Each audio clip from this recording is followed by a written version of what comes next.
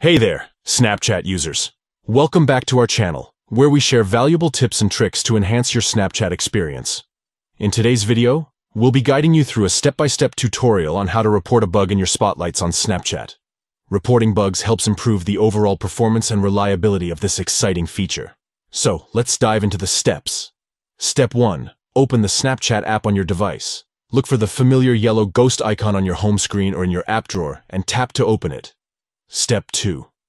Once you're inside the Snapchat app, locate and tap on the account icon in the top right corner of the screen. This will take you to your account settings. Step 3. Within your account settings, you'll find the gear icon.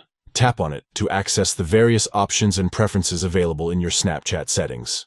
Step 4. Scroll down until you come across the option labeled I spotted a bug Tap on it to access the bug reporting feature. Step 5. Inside the bug reporting menu, select Spotlights to report a bug specifically related to the Spotlights feature on Snapchat. Step 6.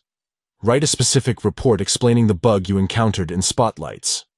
Be sure to provide detailed information about the issue you are facing. If necessary, you can include pictures to support your report by tapping on Add Attachments and selecting the relevant images. Thank you for watching, and we'll catch you in the next video.